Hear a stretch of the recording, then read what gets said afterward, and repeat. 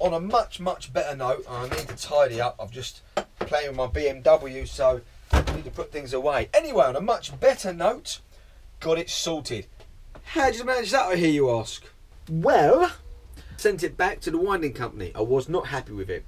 What she ended up doing, I thought was fixed. It was chucking out 12.6 volts, start the bike up, it would run and keep the battery charged to that level.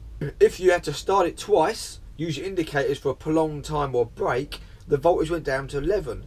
All the stator could do was keep it at the voltage the battery was at. So every time you started it, from 12 to 12.5, 12.3, 11.8 and so on, to eventually it couldn't charge the battery and the bike would die. So I sent the stator coil back to the winding company and I said to the guy, it's not right. He rewound it all, took the earth off of it, sent it back. And that was thumbs up. Stuck it on there, started the bike up on revs, 14 volts, perfect. On tick over, 12.8. And when you turn the lights on, indicators on, and everything else, it stayed at the 12.6. And then when you rode it, up to 14 volts. Then it didn't matter what indicators, lights, or how many times you started it, it charged the battery. So, thumbs up. There you go.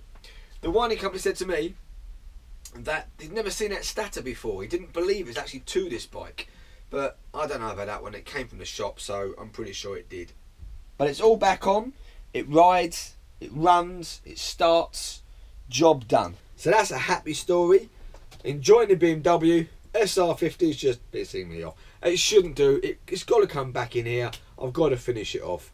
But as for this one, job done. Happy days. Try, try, try. Keep trying. Drives you mad. Keep trying. That's got to be the motto, hasn't it? Anyway, I need a cup of tea. Like, share, subscribe. I'll keep making them. Take care of yourselves on the road.